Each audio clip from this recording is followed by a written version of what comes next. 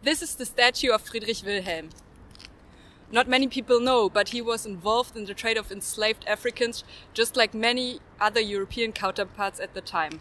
Perhaps Europeans lacked the wisdom to understand that humans should respect each other and have some esteem for both the living and the non-living things.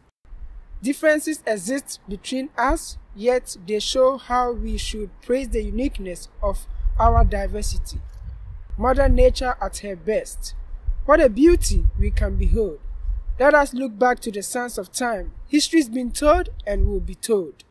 Look back at the history of colonialism and the transatlantic trade, also called Maafa, the Great Tragedy, when human beings were exploiting other human beings for profit and capitalist money making. In 1680, Friedrich Wilhelm sent ships to the coast of today's Ghana. He wanted his soldiers to bring back parrots, monkeys, ivory and gold to Berlin. At the same time, he instructed them to bring him, quote, half a dozen of African slaves between 14 and 16 years old, as if they were goods rather than human beings.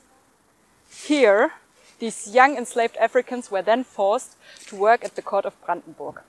Later, his son, Friedrich I, built that palace over there. He also expanded what his father had started and ordered that enslaved Africans be shipped over the Atlantic. The company that oversaw this trade transported more than 20,000 slaves to the Caribbean. Many died during the dreadful journey, and others who could survive were then subjected to inhuman conditions as unpaid workers on the plantations. We want you to remember them even if we don't have their names to remember their histories, even if they weren't written. In this palace behind me, there's also a painting that shows how Brandenburgers used Africans here. They were forced to become exotic servants, holding umbrellas for the aristocrats. They were probably the first Africans living here in Berlin. They suffered from racism and discrimination, and their descendants too have suffered. In Ghana, a fortress built by the Brandenburgers reminds us of this history. It is an important site and tour guides tell tourists about what happened more than 300 years ago. Here, the statue celebrates this guy.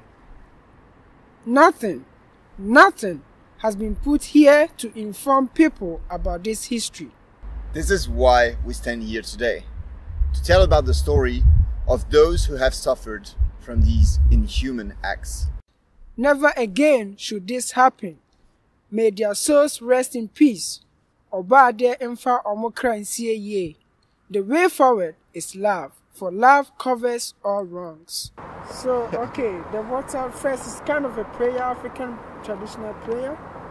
We do this like to show supremacy to God. After we do this, to pay homage to the land, then after we pour the water.